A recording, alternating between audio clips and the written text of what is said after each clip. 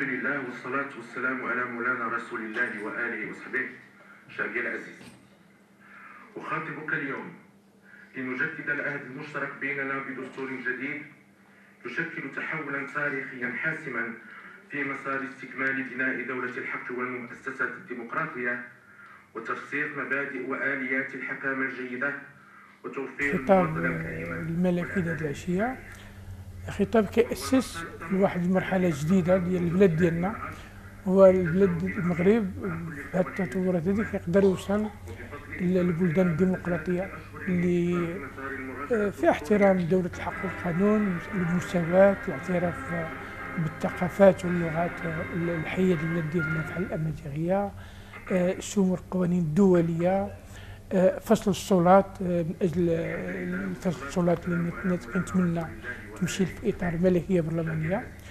وكذلك آه، الاستقلاليه ديال القضاء. خطوات مهمة بالنسبة للبلاد ديالنا. واللي اللي كنتمناو تواكبها كذلك إصلاحات سياسية والآليات ديال الإنجاز والتنفيذ ديال المشاريع اللي كاينة الآن في الدستور وتوفير المواطنة الكريمة والعدالة الاجتماعية وهو المسار الطموح الذي أطلقناه منذ العام. هذا يوم تاريخي لأنه تنشوفوا التغييرات القوية اللي دخلت الآن في الدستور الجديد اللي سمعنا بالخطاب صاحب الجلالة الملك. يعني اللي كي يعطي حق المواطن الدفاع للحقوق الإنسان الحرية ومن من ناحية ديال آه، المجلس الجالية اللي تا هو كذلك آه، غادي يكون موجود في في الدستور مع مجالس آه، أخرى وهيئات آه، أخرى.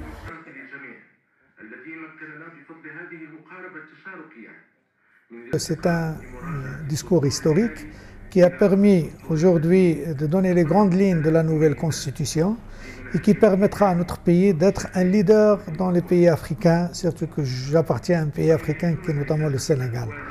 Aujourd'hui, toutes les euh, questions qui ont été ou toutes les demandes de la communauté marocaine établie à l'étranger ou du peuple marocain, notamment la constitutionnalisation de la langue amazigh comme langue nationale et officielle, euh, l'état de droit est euh, très présente.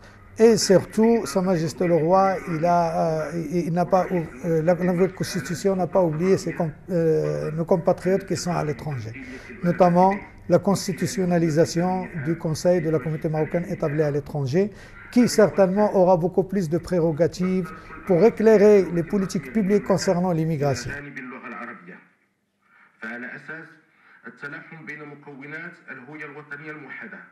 الاشياء اللي اثرت انتباهي بالأخص فصل فصل السلطات تعزيز القضاء حقوق الإنسان الجالية المغربية الخارج المشاركه اللي كنتمناو على الله باش الحكومة تعجل بهذه المسألة ديال المشاركة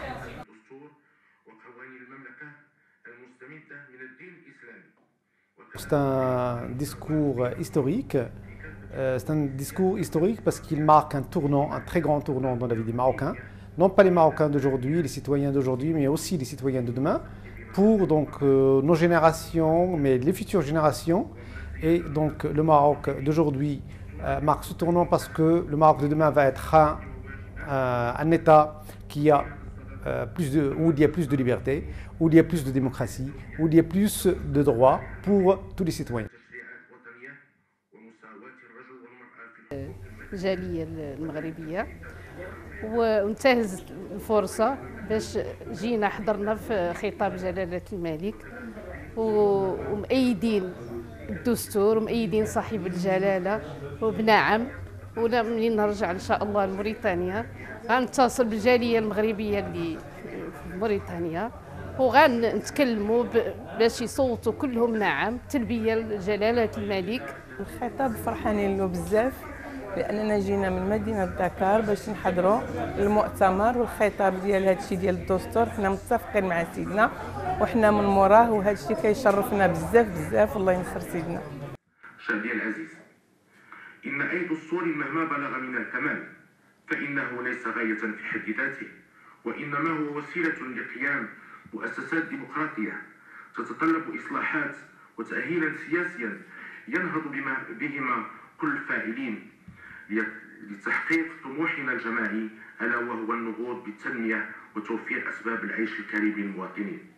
ومن هذا المنطلق فإن خديمك الأول عندما سيقوم بواجبه الوطني بالتصويت بقول نعم لمشروع الدستور الجديد المفروض على الاستفتاء الشعبي أي مغربي اللي يسمع هذا الخطاب لازم له أنه يمشي يشارك ويصوت نعم على هذا الدستور الجديد Nous allons voter oui et dès notre retour en fait dans nos pays d'accueil nous allons organiser des rencontres pour sensibiliser sensibiliser cette communauté parce que cette constitution, c'est dans l'intérêt de la communauté, c'est dans l'intérêt du peuple marocain. En tant que citoyen, donc, euh, je ne peux qu'appeler pour voter oui pour euh, cette, euh, ce projet de constitution, tout simplement parce qu'il apporte beaucoup de choses par rapport à la, constitution de 1996. C'est une vraie avancée, c'est une vraie avancée du point de vue démocratique, c'est une vraie avancée du point de vue d'état de droit, c'est une vraie avancée du point de vue en fait, de, droit de citoyenneté. Et tous les citoyens donc, aspiraient à certains droits, donc on rêvait